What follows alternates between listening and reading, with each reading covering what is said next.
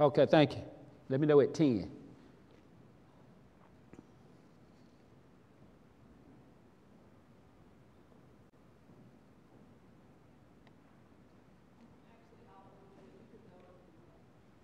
Okay.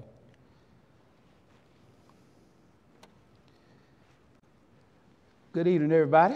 Praise God. So glad to see you all again. But I heard you all were in good hands. Praise God. Learning and receiving about the power of the Holy Ghost. Hallelujah. And we're going to kind of continue with that vein a little bit. I was actually uh, ministering uh, somewhat about in, in, in that same uh, area, uh, but I, I, was just placing emphasis. Uh, well, it, it, it, it, actually is the same thing, because you, your subject was the power of the Holy. Uh, so, so yeah, I'm, I'm, talking about power. So uh, good to see all of y'all here, and just thank God for everybody that had a part in, in these, these glorious uh, decor. Praise God. It's exciting, it's beautiful. Amen. And so we'll, uh, we'll get right on into the word. Just ask you that you just release uh, your faith and join with me, uh, believing God for utterance uh, tonight, uh, for revelation. and, and, and, and let's, let's be deliberate and intentional listening uh, to hear God tonight. Amen. Uh, it, we we want to hear from the Spirit of God uh, corporately but individually. And uh, because it's, it's what we hear from Him, uh, that anointed utterance that we hear that causes faith to come. And that faith is the empowerment we need to act and obey. And, and at the same time, that faith connects with the power necessary to make our actions and our obedience successful and prosperous. Amen. So let's, let's, Let's believe God to hear uh, from Him for us. Amen? Praise God. So, my, my subject tonight uh, is walking in the supernatural. Walking in the supernatural.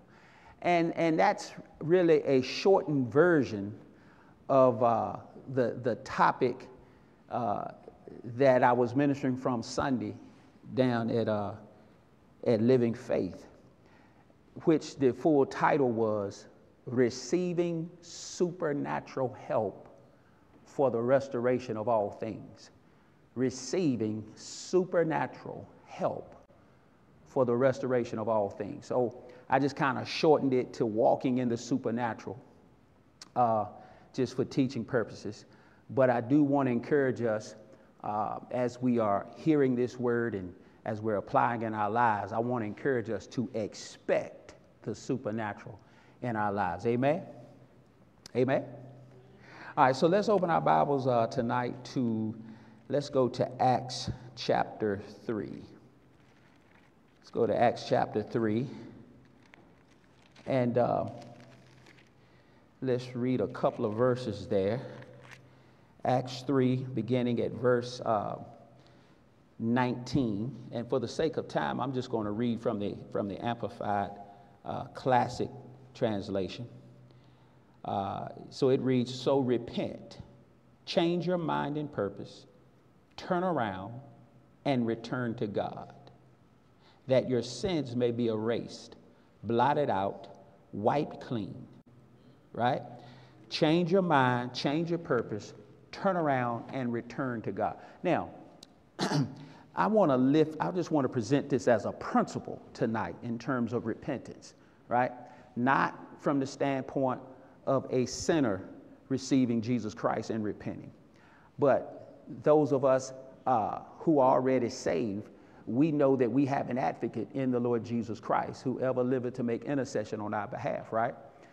Uh, however, if we sin, right, uh, the Bible talks about confessing that sin and that God is faithful and just to forgive us our sins and to cleanse us of all our unrighteousness. 1 John 1 and 9.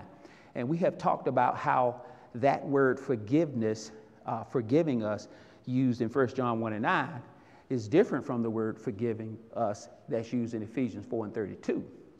The one in Ephesians 4 and 32 is completely unconditional forgiveness eternal forgiveness, which all of us have received, all of us walk in daily as God's righteousness. It's completely unconditional. It belongs to us because we receive Jesus Christ as Lord and Savior. Amen?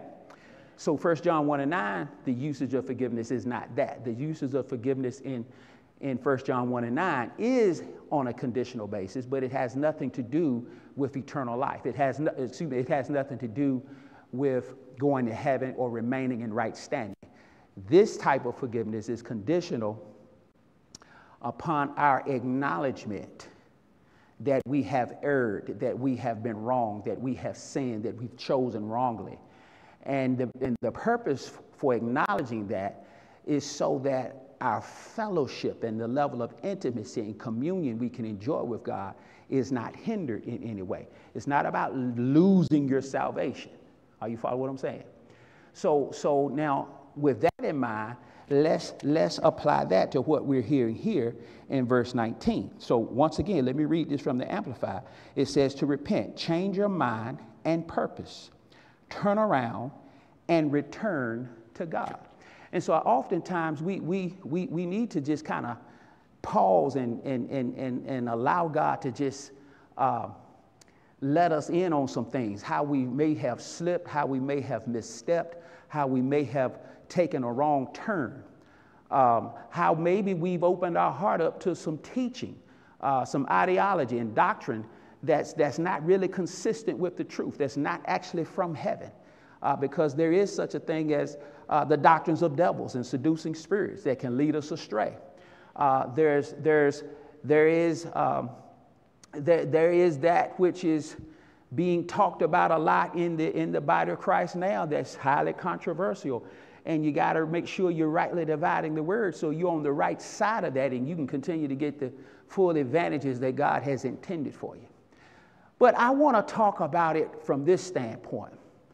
Uh, I think a lot of us in the body of Christ have a wrong idea uh, concerning uh, what true prosperity is from God's perspective and, and, and His will concerning prosperity for His people.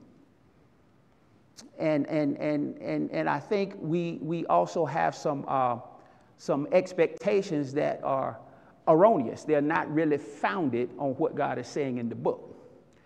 And so uh, let me continue to read this and then I'll, I'll, I'll make another couple of comments here. Um, so he talks about uh, returning to God that your sins may be erased, blotted out, wiped clean. That times of refreshing, times of refreshing, of recovering from the effects of the heat and reviving with fresh air may come from the presence of God. Hallelujah. Glory to God. I mean, that's exciting to me that, re- that times of refreshing come from the result of God's presence. Amen. Hallelujah. And He's present within each and every one of us. Everywhere we are, everywhere he, we go, He's there with us. Amen. He's there before we get there, but yet He's in us. Amen. Amen. Hallelujah. So we can tap into to His presence uh, for, the, for, the, for that refreshing anytime we need to. We can be revived. Amen. We don't have to continue suffering, being worn out and, and drained and exhausted and growing weary and tired of well doing and being beaten down by the circumstances of life. No, we have within us the very presence of God from which we can be revived and refreshed. Amen? Amen. Hallelujah. Y'all, y'all all right tonight? All right, so, so let me. Uh, let me let me get on here with verse 18. It says, uh, excuse me, verse verse 20. And he and and okay, so it talks about. Let me finish up with verse verse uh, 19 and go back to verse 20. All right, so it talks about that times of refreshing may come from the presence of the Lord, and that He may send to you the Christ, the Messiah, who before was designated and appointed for you, even Jesus, whom heaven must receive and retain. So heaven has received Jesus Christ. Amen. He, he, he, he ascended on high, right? And so heaven received him, but heaven must also retain him, right? That means he cannot come back until some certain things happen and occur, right? So, so now, now, now we know that he's soon to come. We know we're in the last days. Even when he first ascended, the body of Christ at that time began to speak of that day as the last days. And that's been uh, uh, 2,000 plus years ago. So certainly we are in the last days in our day. Amen? And, and, and more, more probably we're in the last hours of the last days. So we, we, so we, can, we, can, we can rest assured that the, that, the, that the coming of Jesus is sooner than it ever has been. Amen? And, and that time period is getting shorter and shorter with each passing day, right? And yet there are some things that God desires to accomplish and bring to fruition in the earth for us before heaven can release Jesus to return. So with that, with that being so, with his time to come fastly approaching, and yet there are things that God desires to see fulfilled in our lives, then there is a whole lot of good stuff that has to yet happen in a short period of time before Jesus can come back. And we're at that time, we're at that point, we're at that little wrinkle, that sliver uh, in time where we should be expecting to see and behold the fulfillment of things God has spoken from prophets of old. We need to be in expectance of having these things come to pass in our lives today. Are y'all follow what I'm saying? All right, so let, let, let me finish that. So he says, uh, he says, whom heaven must receive and retain until the time. Listen, for the complete restoration of all that God spoke by the mouth of his holy prophets for ages past from the most ancient time in the memory of man. So, so, so everything we have recorded here in this Bible, right? This, this, this was divinely inspired, right, by the Holy Spirit. It came straight. Now, now understand, be, be, before it was written, it was spoken by God, by the Holy Spirit, right? Okay, well, he spoke it to someone in the earth who in turn spoke it themselves. Are you understand what I'm saying? So every record we ha- everything we have on record in terms of the will of God and the desires and plans of purposes of God uh, concerning his people, things that are going to happen in the earth, he spoke it, and then in turn, a prophet in the earth spoke the same thing. Amen. And so he's saying here that, that before Jesus can return, there must be the complete restoration of everything God originally intended. Everything He spoke by the prophets from man's most ancient memory, each and every one of those things must be fulfilled in the earth. And everything, now listen, listen, listen, listen. Everything He began to speak by the prophets. Uh, was for the purposes of, of his original intent being recreated for the good and benefit of mankind. That's really a, a, a, good working definition for restoration to recreate God's original intent for the family of man.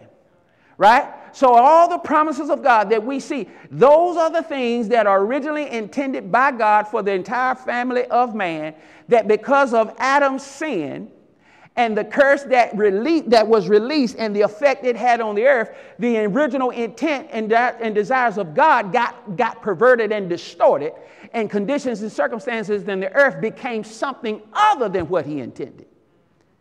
But the, but the fact that they became distorted and perverted did not change what he originally intended. So his original intent is still his intent for us, even in this hour. And so, all that he has spoken by the mouths of prophets from man's most ancient memory, even to Jesus' return, must come to pass in the earth. Are y'all following what I'm saying?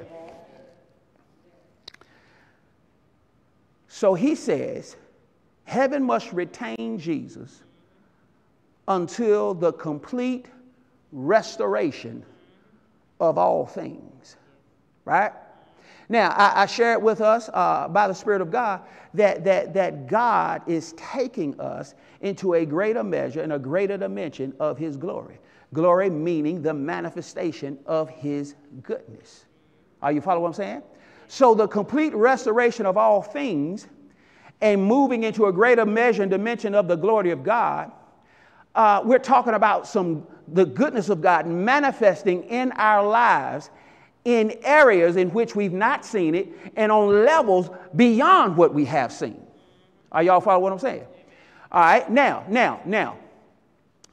when you talk about the complete restoration of all things, we're also talking about the unveiling or the unfolding of God's original plans and purposes. Before they can be fulfilled, they must be revealed. Right? So we're in a place of great hope and expectancy to have more of the heart of God and the plans of God revealed to us than what we have known before. We're, we're in a place where we can have a greater understanding. We can have his heart and desires revealed in greater depth, right? So, so we're in that place where his word and his heart is being unfolded. Revelations, re- revelation, revelation, revelation that the body has either lost or let slip into the recesses of our mind. And as a result of letting them slip, they're no longer in the forefront of our thinking. No, they no longer have the weight and the effect or the, uh, the impact on our thinking and our belief system, right? And so, so God is restoring revelation back to the body of Christ, right? And, and, and in this day and this hour, for us, uh, I know by the Spirit of God, in, in, in the restoration of all things and the unfolding of revelations that have been lost or, or, or laid to the side, that we've, that we've gone without because of religion and false doctrine and all kinds of stuff, in the restoration of all things and the unfolding of revelation, he is going to be emphasizing uh, the revelation of his will for us to be rich, to prosper, to have abundance. Are y'all follow what I'm saying? So, so, so, so let me just say it. Let me just say it. If in case you didn't know, in case you didn't know, you need to sell it in your heart. God, God's will for you is to be rich. God wants you rich. Are you understand what I'm saying? Now, now, now, I got news for you. God has already made you rich. In terms of God's, pers- when we talk about God's perspective and, and God's definition of rich, you are already rich. Just as you're already born again and in right standing with God, you're already rich. Same way you're born again and right standing with God, you're already healed. Right? You're already rich. You're just as rich as you ever going to be. Because being rich ain't got nothing to do with how much you have in your possession. Being rich is about who you are. It's not about what you have. And so you got to understand, you really ha- we really have to make that differentiation. See, the rich young ruler messed up on that. See, see, the Lord was trying, the Lord was actually calling him, I believe, into uh, that apostolic ministry that the other disciples entered into, right? It, it, he, he would have been the perfect replacement for Judas.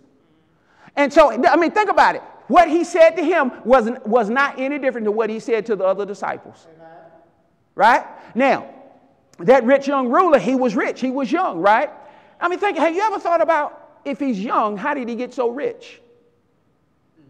I mean, think about it. Now, now he, he talked about how he kept the, the, the, the law, the commandments from his youth. So certainly that had something to do with it. Amen. That had a lot to do with it. But I, I just wonder could it have been that he, he was rich because of an inheritance? You, you understand what I'm saying? My, my, my, okay, but my, my, my point is, my point is, when, when he was inquiring about eternal life, and he wasn't asking about going to heaven, because Jesus' response to him was about the commandments, and it ain't about us keeping a nothing, not, nothing about our works is what's going to get us to heaven. We're going to heaven, that's a lot, but it ain't got nothing to do about with our works.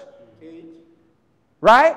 Now, now, now, now, now, he, he, he began to say, he said, all of these have I kept. Jesus said, well, one thing you lack. Well, that's, that's twofold. I think one, in one aspect, the one thing he lacked, there was a commandment that he did lack, and that was to have no other God before God. Amen. And he had allowed his riches and possessions to take God's place and, and he had tied his hope to his possessions. Because when Jesus told him to sell, to, to, to sell it and then give the proceeds to the poor, he went away sad at the thought of not having. So, so, so if we believe that we're, if we, if we believe we're rich based on what we have, anytime God speaks to us about giving, and we believe our riches are based on what we have, and, and now, now understand, if, if we've allowed what we have to replace who gave it to us, we're not going to be willing to part with what we have. But if you understand that you're rich on the basis of who you are and whose you are, regardless of what you have or don't have, you can be more free and willing in your giving because what you give away doesn't change who you are. Are y'all follow what I'm saying? All right, all right, all right, all right, all right. Believe it or not, I ain't planning to get into any of that, that, that far. I want to tell you the definition of rich. To have a full supply, an abundant supply. To, to, to, whatever your expenses, whatever your costs, whatever your demands, to be rich is to have a full supply, an abundant supply to cover every expense and cost, to meet every demand, right? The, the, the means to abound to every good work God has called you to. A full supply, right? Now, we are rich because of who we are.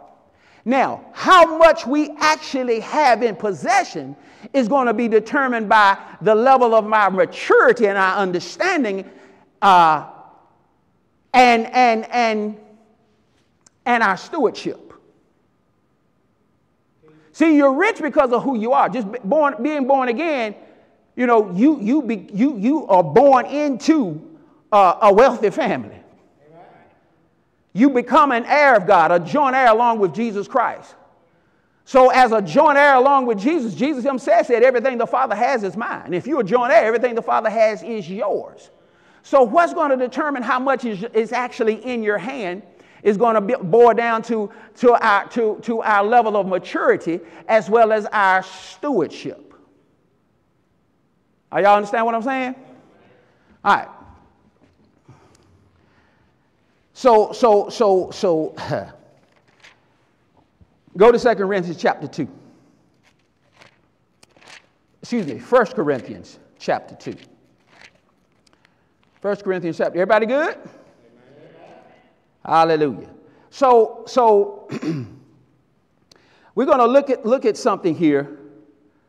Uh,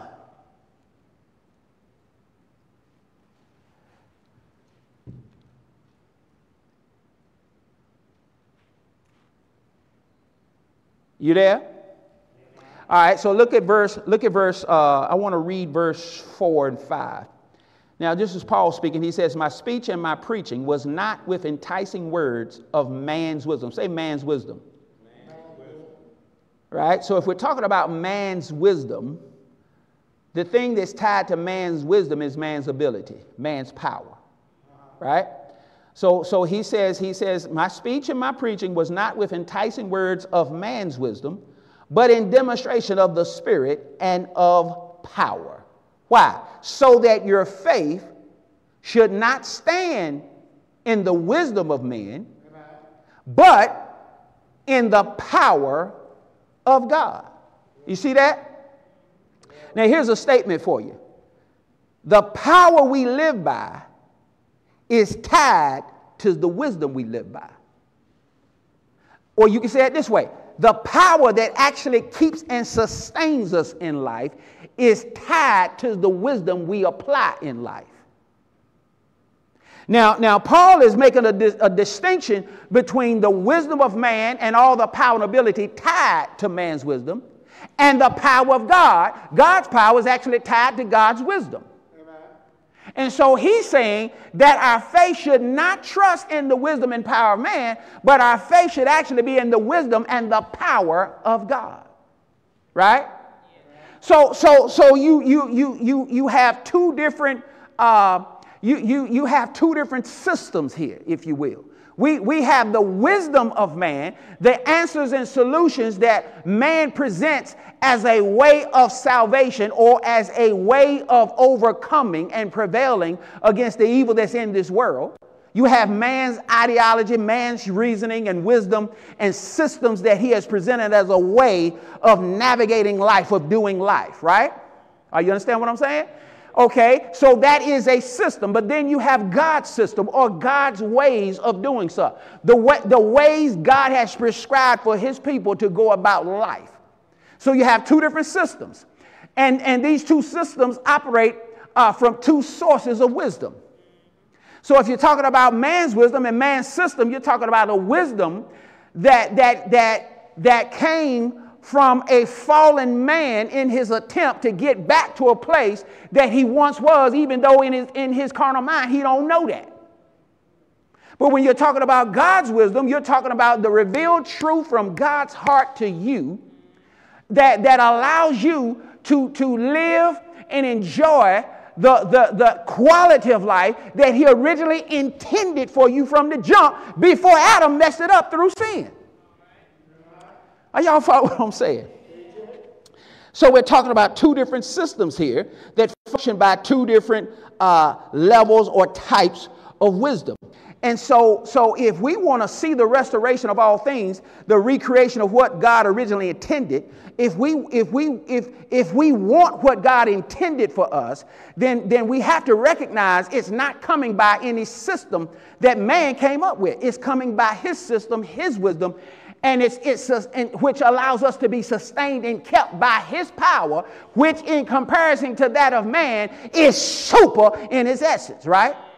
So we're, we're talking about walking in the supernatural power of God in our everyday lives and affairs. We're talking about receiving supernatural help in our everyday affairs in our daily walk with God.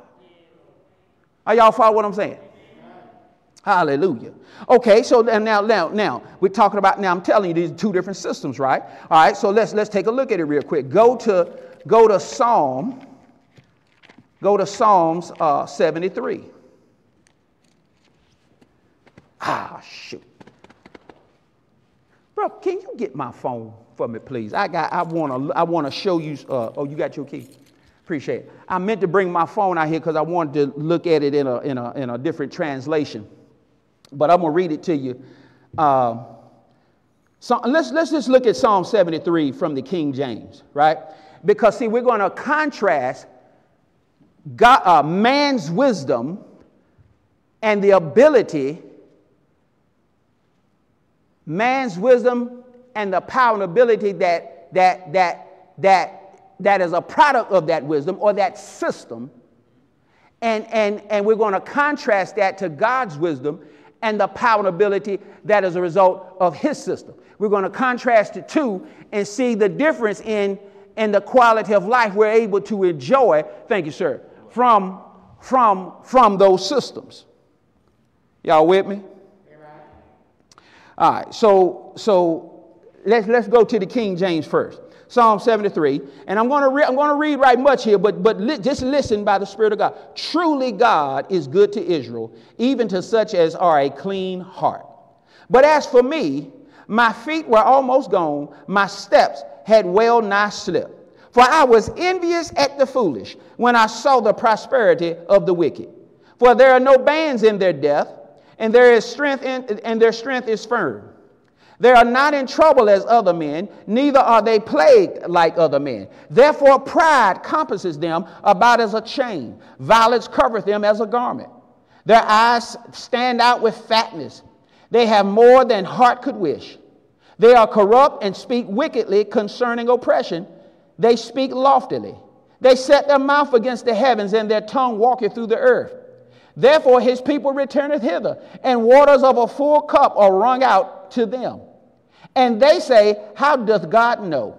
And is there knowledge in the Most High? In other words, they begin to question God. Behold, these are the ungodly who prospereth in the world, they increase in riches. All right? So, so, so the world's uh, system, man's wisdom, uh, is capable of producing uh, a level or a measure of what the world calls good and a lot of what we might call good, right? But but because because but but because of the wisdom that it's based on is faulty and flawed, it's insufficient to sustain it against the evils of this world. Are y'all follow what I'm saying? All right, all right. So so so so then let's let's, let's keep reading a little bit.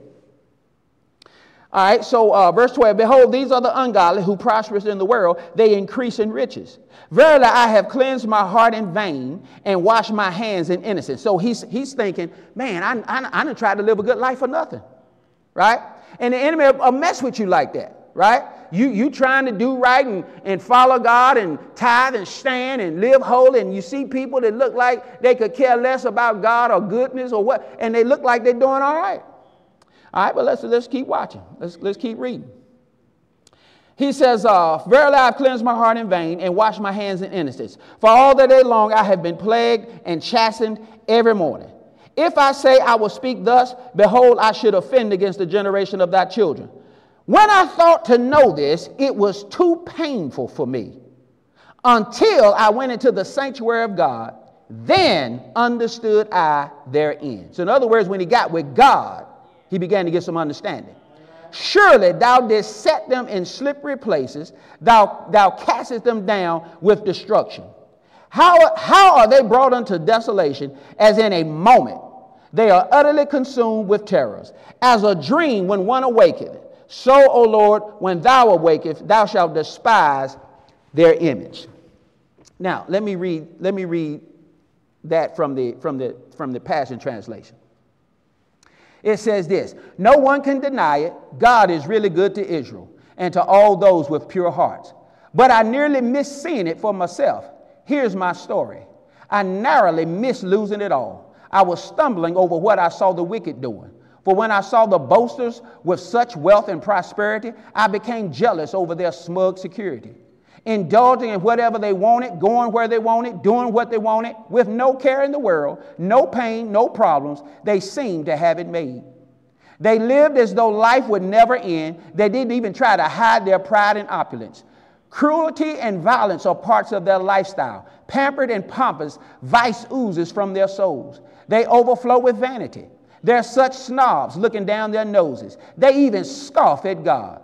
They are nothing but bullies threatening God's people. They are loudmouths with no fear of God, pretending to know it all. Windbags full of hot air, impressing only themselves. Yet the people keep coming back to listen to more of their nonsense. They tell their cohorts, God will never know. See, he has no clue of, what's, of what we're doing. These are the wicked ones I'm talking about. They never have to lift a finger, living a life of ease while their riches multiply. Have I been foolish to play by the rules and keep my life pure? Here I am suffering under your discipline day after day. I feel like I'm being punished all day long. If I had given in to my pain and spoken of what I was really feeling, it would have sounded like unfaithfulness to the next generation. When I tried to understand it all, I just couldn't. It was too puzzling, too much of a riddle to me. But then one day I was brought into the sanctuaries of God, and in the sight of glory, my distorted perspective vanished. See, when you bring stuff to the light of God's word, you get a right perspective. Then I understood that, that the destiny of the wicked was near. They're the ones who are on the slippery path, and God will suddenly let them slide off into destruction to be consumed with terrors forever. It will be an instant end to all their life of ease, a blink of the eye, and they're swept away by sudden calamity. They are nothing more than momentary monarchs, soon to disappear like a dream when one awakens. When the rooster crows, Lord God, you will despise their life of fantasies. Wow. So, so the wisdom of the world and the ability and power thereof seems to produce a certain type of prosperity. But if you examine it closely, there's no genuine substance, it's just a shadow. Because when they deal with adversity and evil, their system, their wisdom does not produce a power sufficient to defend them and protect them from the evil of this world. So ultimately, they are, they are playing right into Satan's hands, sowing unto the flesh and reaping uh, corruption. And, and it's, it's going to hit, and it's going to hit hard, it's going to hit fast. And, and they won't even know what hit them. Are you understand what I'm saying? Okay, that's the wisdom of this world. And so Paul is trying to get us to, to, to, differ, to, to differentiate from the world's wisdom and its ability to keep us, and true wisdom from God in his supernatural power to keep us, right? All right. So now let's now now let's go to Psalm 20. Let's let's look at this thing in, in Psalm 20. And, and uh, I'm going to read it first from the King James. And I want to look at that from the, from the Passion Translation. Psalm 20. All right, it says, The Lord hear thee in the day of trouble. Now, this, this particular passage, uh, if you listen and prayerfully meditate on it, you'll see that the things that is being asked of God to do for us is actually reflects um, God's plan for the restoration of all things.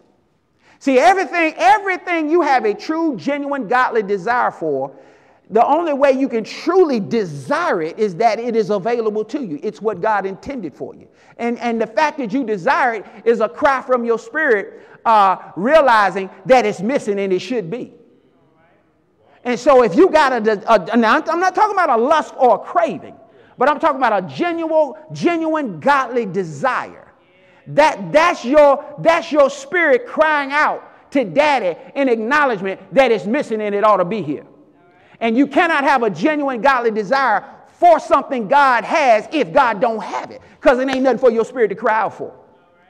Are you understand what I'm saying? All right, so so so Psalm 20, I think, captures the heart of God in terms of his intent for what he what he originally wanted us to enjoy. Victory, success, prosperity. So verse 1.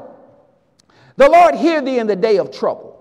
The, same, the name of the God of Jacob defend thee. The Lord hear thee in the day of trouble. Now, see, if you know how to get God to hear you when you're facing trouble, you'll always overcome trouble.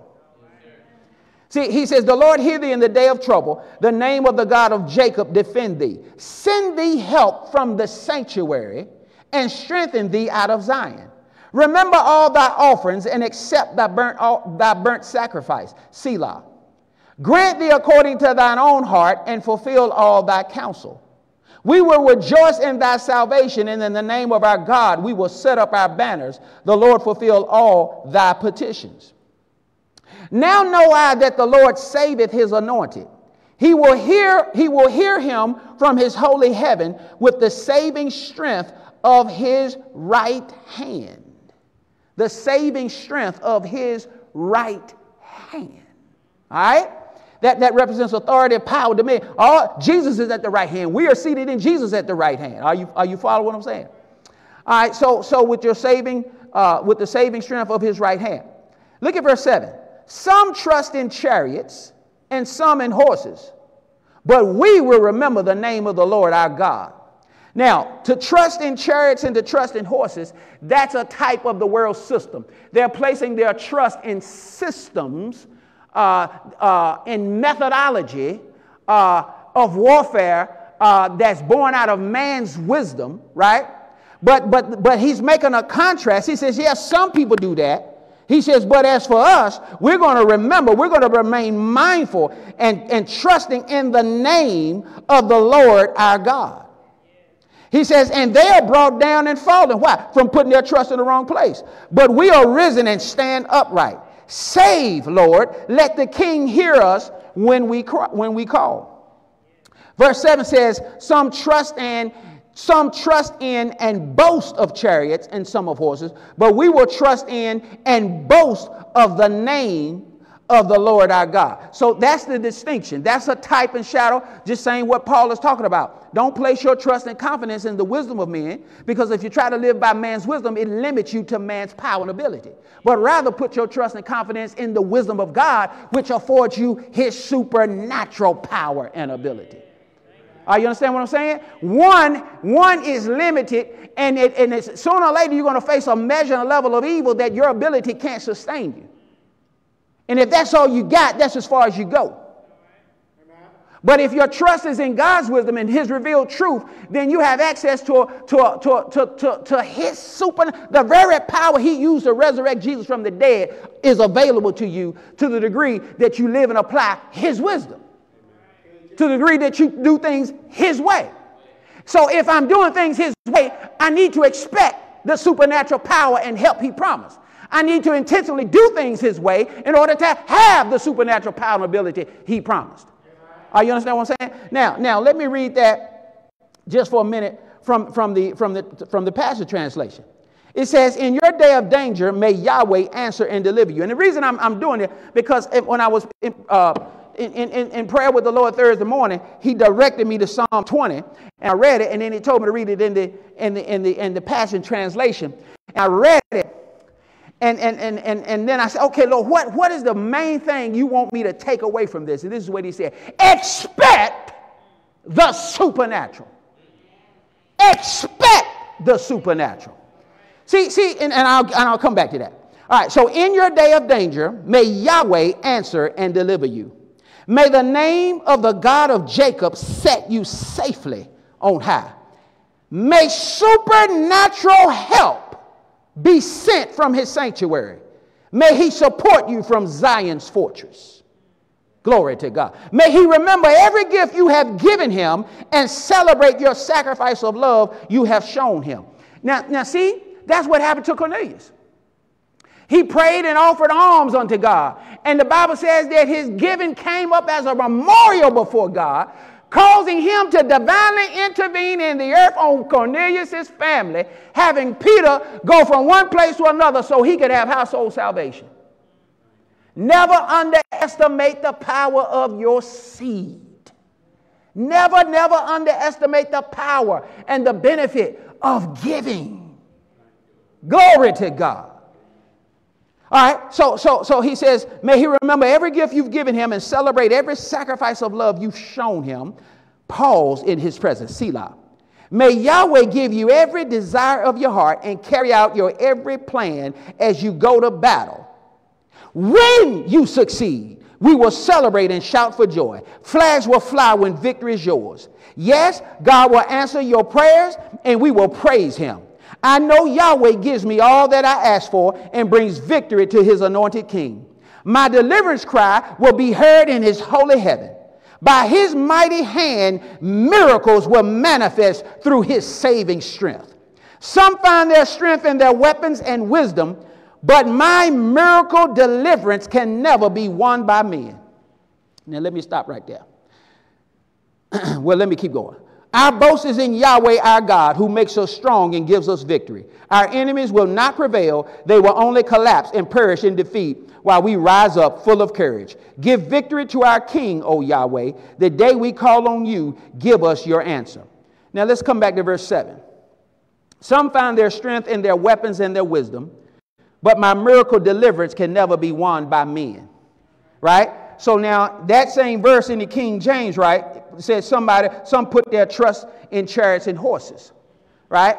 So notice, notice now, notice what he says in the, in the passage. He says, Some find their strength in their weapons and their wisdom, but my miracle deliverance can never be won by men. So in other words, in other words,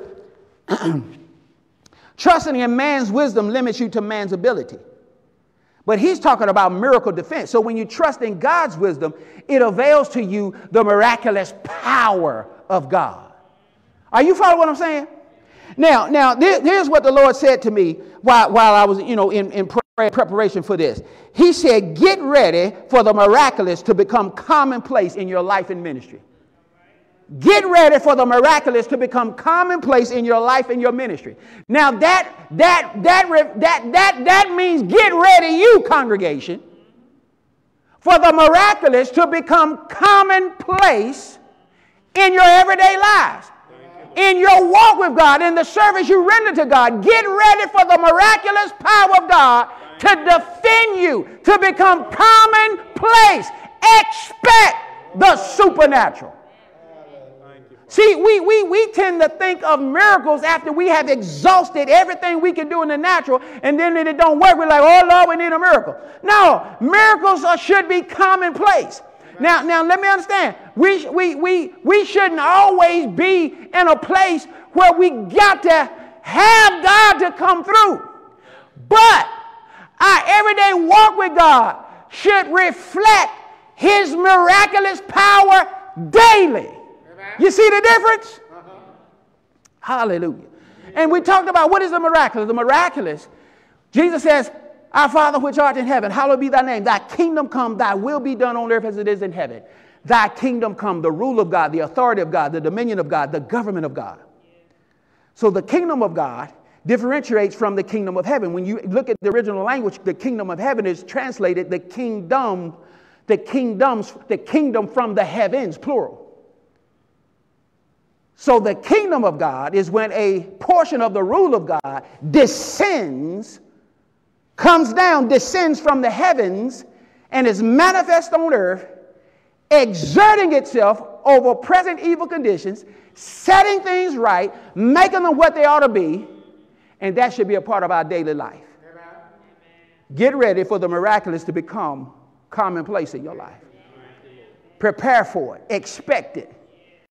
Are you understand what I'm saying? All right, so so now now let's let's back up. Now now let's let's back our way back up to verse 2. And and and I just want to I just want to reiterate this one. Verse 2. He says, uh, may supernatural help be sent from his sanctuary. May supernatural help be sent from his sanctuary. Glory to God. So we are to expect the supernatural power of God to be manifested in our everyday lives. We ought to expect that, right? Now, expect the supernatural. Now, now I just I'm going to share a little bit of the conversation, the question and answer I had with God about okay, what, how, what, what, what, uh, what am I, how do I go about expecting the supernatural? I, I, mean, think about it. How do you expect it? How, because obviously, I'm talking to, I said, okay, Lord, you're telling me to expect it, and I thought I was, but you're telling me to do it, so obviously I wasn't. So what do I do differently to actually be expecting the supernatural? And you understand what I'm saying? If God is telling you to do something, and you think you're doing it, well, you, obviously you ain't doing it right, else he wouldn't tell you.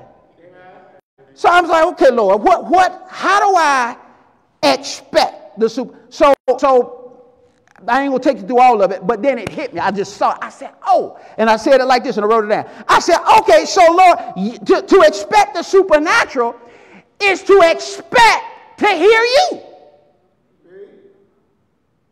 Now think about that for a minute.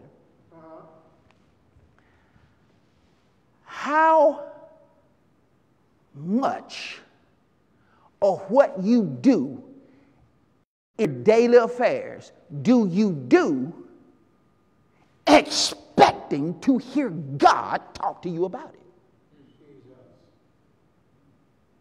So, to expect the supernatural is to expect to hear God.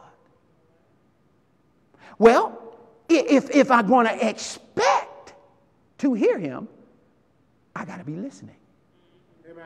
I got to be deliberate and intentional in listening. So, so we're talking about communion. We're talking about fellowship. We're talking about maintaining an open, uh, open conversation, if you will, ongoing fellowship with the Lord, right? So, so it hit me. I said, okay, Lord. So, so you're saying to expect the supernatural is to expect to hear your voice. And it's like he came back, like, yes, son. And I, and, and I put it in explanation for it. He said, expect to hear me. Listen inwardly for me to speak. Commune with me, inquire of me, expecting to hear and you will. Because, see, everything we do with God, everything we receive from God, we do it by faith. We receive it by faith. You hear God by faith. Now, I'm not saying that everything you hear going to be God. But I'm saying that, that, that everything you hear by the inward witness of the Holy Spirit, you can discern what is God and what's not. But you do need to go, you need to approach him with the expectation of him talking and answering and you hearing. Amen. Commune with him, inquire of him, expecting to hear him, and you will. And then when you hear, obey. Obey him. Obey him. It might not seem logical. It more likely it won't. It, it won't seem reasonable. It might seem a little skeptical. It might invoke a little anxiety initially. Uh, but if you if you if if it's consistent with the word and you have that inward witness from the Holy Spirit, then then then that's God. And so see see what's going to make it easier to do this is is settling it in your heart. Uh, whose you are. whom you belong. Who is your source? What, what is the driving motive for you getting up and, and, and doing what you do? Is it to serve self or God? Is it to be gratified? Is it to get the accolades of men? Is it to get all you can get your hand on? Or is it to actually honor God in your decisions and your choices? Is it actually to glorify Him in how you live and in, in, what you say and what you do? See, a lot of times what you hear is going to be based on the motive in which you're trying in, in which you're going about something. And if you got if you got your motive right, it's a whole lot easier to hear right. Or to know what you're hearing is right. So a lot of times we, we approach God asking God about something, and we already got our mind made up what we want Him to say. And so a lot of times, if we hear what we want to hear, you really don't know if you're hearing what God said or you're hearing what that idol in your heart said, because that's what you wanted to hear. And if the motive didn't have nothing to do with God, was just about gratifying self, nine out of ten times, it won't God. Are y'all following what I'm saying? Delight yourself in the Lord, and He will give you the desires of your heart. Delight means to be yielded, surrendered, right? It means to become pliable and soft, right? So if I'm going to delight myself in the Lord, I'm going to take joy and delight in the Lord and His will for me. I'm going to become pliable and soft and tender and yielded to His will for me. And in doing so, He will give me the desires of my heart. That's twofold. Yeah, He'll give you things you desire, but, but more importantly, by being yielded and surrendered to Him and His will for you, He's going to give you, He's going to birth within you a desire for what He wills for you. He's going to give you what He wants for you, and you're going to perceive it as a desire.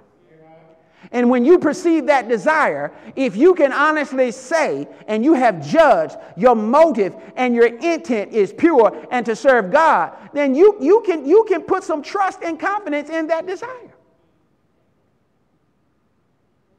Trusting God going, going, going, going, that He's going to, he's, he's got you. If you listen, if you misstep, the Bible says, I hear a voice behind me saying, This is the way, turn ye therein and walk therein. He'll correct you. Are, y- are y'all following what I'm saying?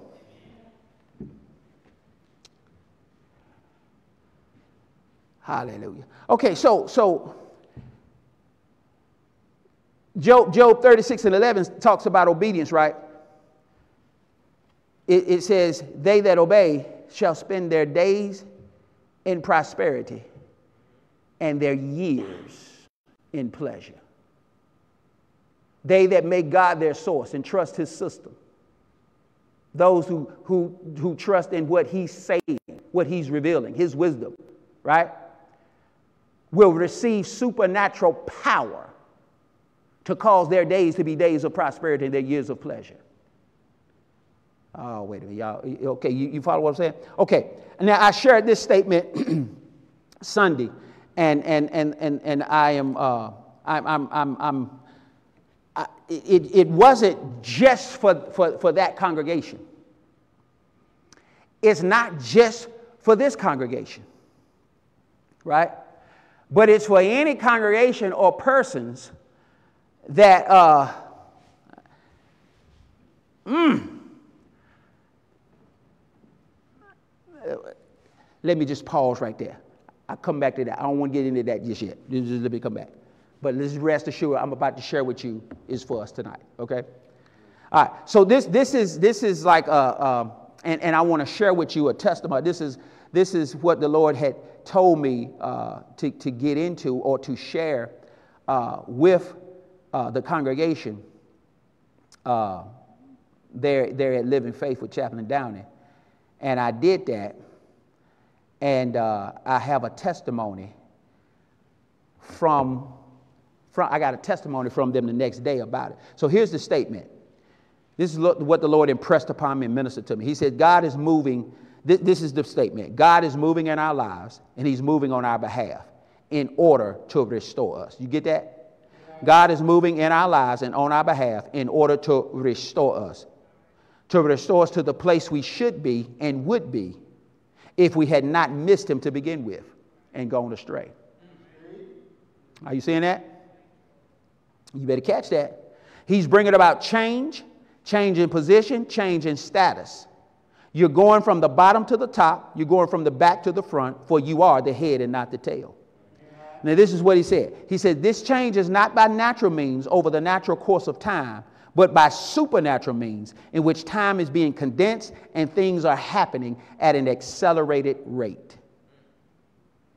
Now, now go to John chapter 2, and I want to read you the testimony of that before. Um, before, well, actually, I'll, I will read John chapter 2, and, and then I'll get into the testimony. So remind me to share the testimony you. All right, so John 2, are you there? All right, I, I think John 2 captures uh, what, I, what I just shared, right? And, um, and, and this is a statement you can write down, it, it, and it'll, it'll help you. It, it, understand, if it matters to you, it matters to God. Sometimes things can seem mundane and trivial, and uh, like, like and the enemy will make you think, um, well, that ain't, that ain't no big deal. No, no, no, if it matters to you, it matters to God which means he has something to say to you about it. He's willing to help you with it. He, he wants the best for you concerning it, regardless of how big or small it seems to, to, to, to us, right? So, so now, now we're talking about things not happening by natural means over the natural course of time, but supernatural means where time is being condensed and things happening at an accelerated rate. All right, so in John 2, we see that Jesus and, and, and the disciples were invited uh, to, the, to this wedding, uh, this marriage in Cana, right?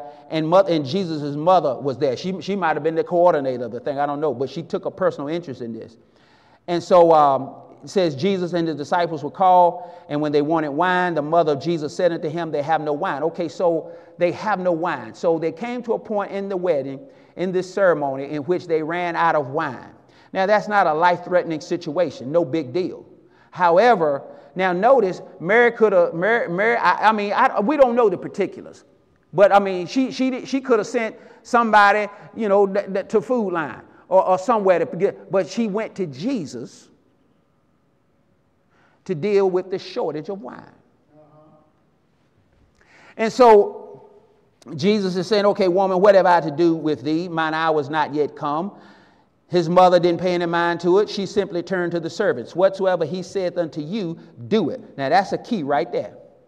If you want to receive supernatural help, if you want God's best in your life, that's it right there. Whatever he say, do it. When you inquire of him, expecting to hear him answer you, you do so with, with the intent to obey what, what he tells you. Whatever he say, you do it, then you, you it's a wrap. It's a wrap, right? All right, so so so ah. Verse 6. And there was set there six water pots. Okay, I will. So so you got whatever he says to you, do it. But you got to understand, God is going to talk to us on the level of our understanding in terms of instructions. He, he's going to instruct us according to our capacity to believe and obey.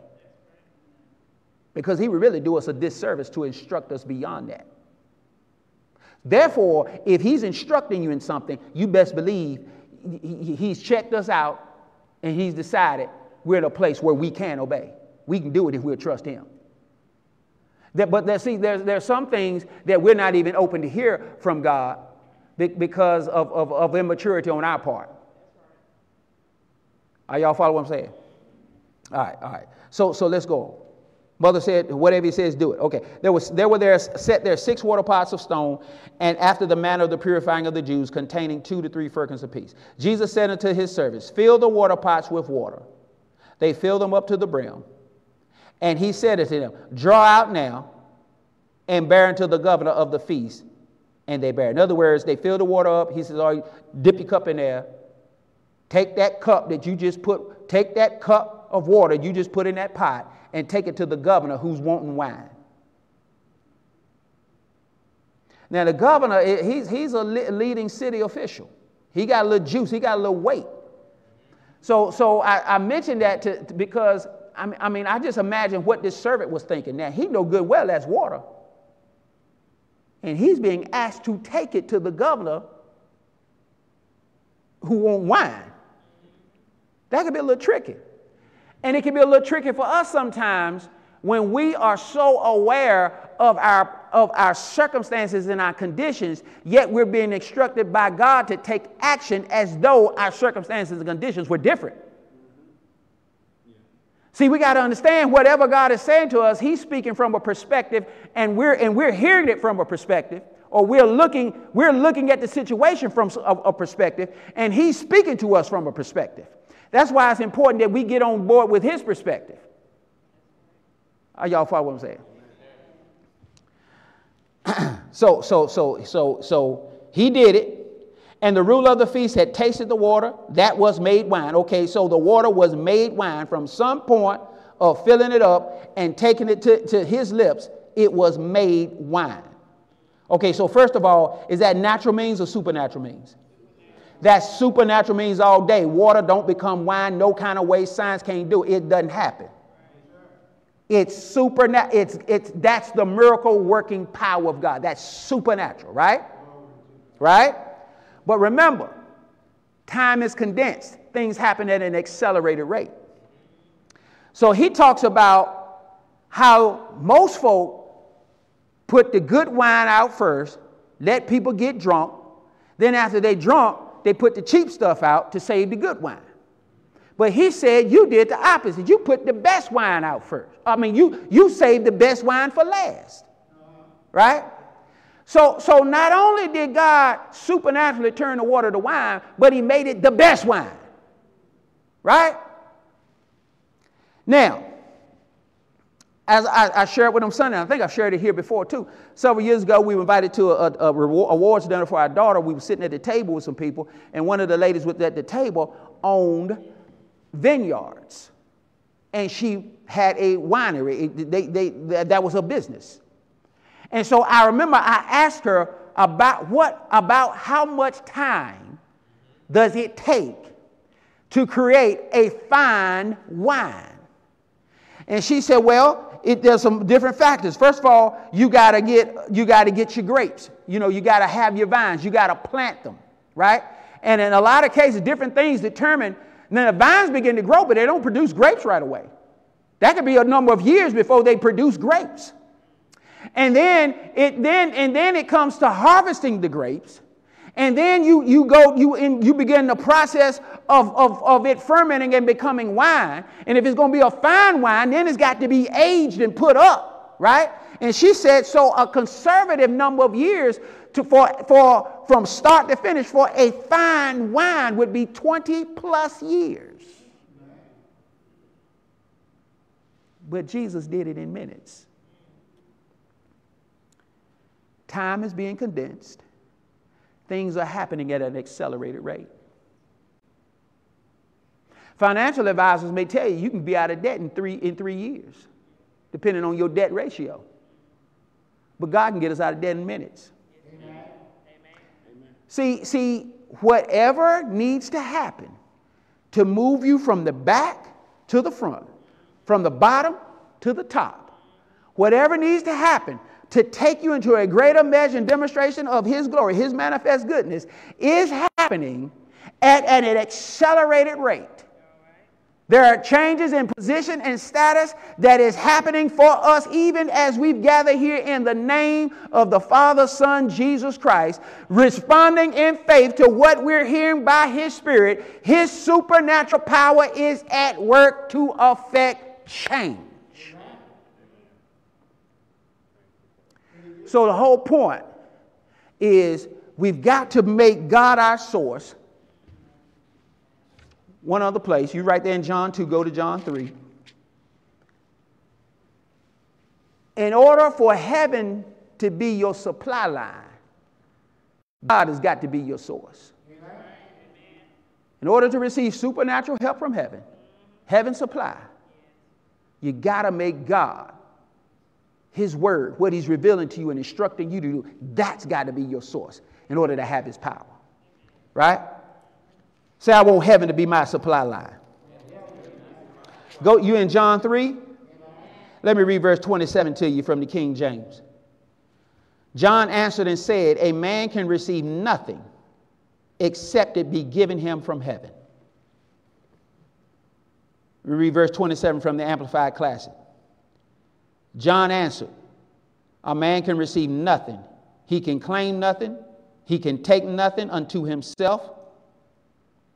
He, can, he, he, he can claim nothing. He can take nothing unto himself, nothing, except it has been granted to him from heaven. A man must be content to receive the gift which is given him from heaven. There is no other source. There's no other source. Not for us. If, if you try to make the wisdom of man your source, you're going to be limited to the, to the power and ability of man, and evil will prevail. But if you make God your source, then heaven becomes your supply. And you can receive supernatural help for the restoration of all things. Amen? Amen. Praise God. Well, let's, let's, let's just uh, worship the Lord now in our giving. Praise God. And I want to pray uh, for, for if there are those. Uh-huh. Oh, thank you, brother. I want to get a testimony. Hallelujah. You got to get a testimony. So that's what I preach uh, Sunday. Things being condensed, time, uh, things happening at an accelerated rate. So uh, Chaplain Downing's wife, First Lady Enza sent this. She said, from one of our members wanted to share with you. This is what they sent her. Mother, I can't even type this text fast enough. The word Dr. Foster put out yesterday has already manifested. Just found out from my contract deputy that our team is being put in for a spot award due to the level and extent we're producing products for our government clients. Don't know, um, don't know amount, but I'm expecting great things. Just like the man of God said, supernatural, unexpected, and out of nowhere can our God pour out the blessing we won't have room enough to receive.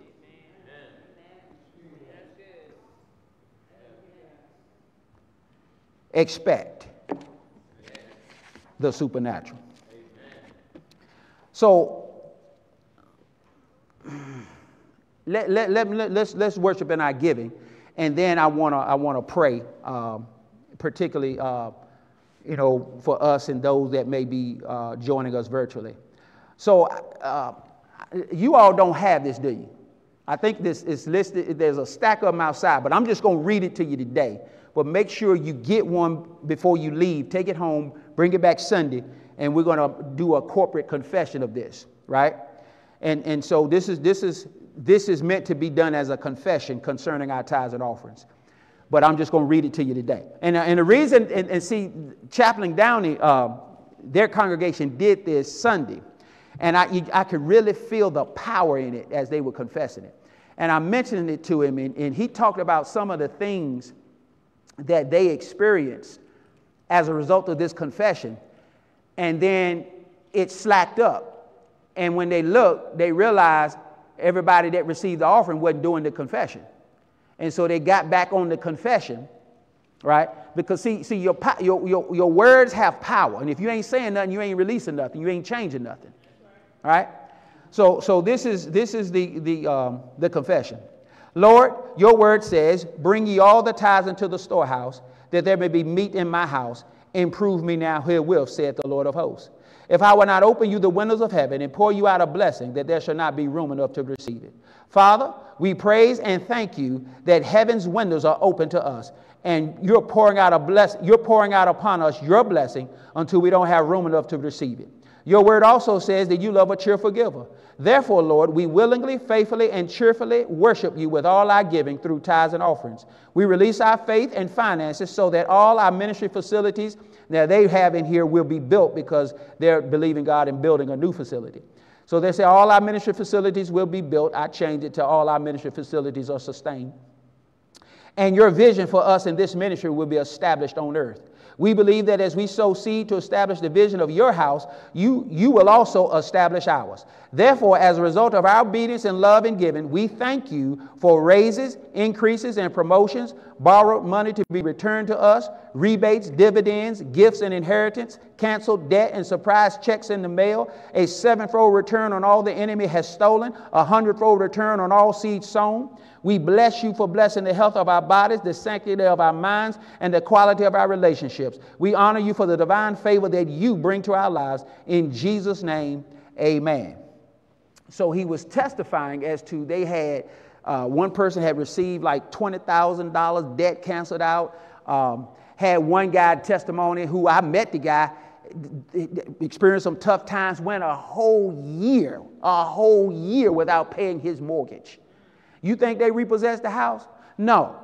Went a whole year without paying the mortgage. You know what they did? They refinanced it and he got it at a cheaper rate. You, you understand what I'm saying? I mean, so, see, supernatural. We got to expect the supernatural. We need to expect to hear God, which means we need to be listening. See, it, it, okay, all right, so you got the point.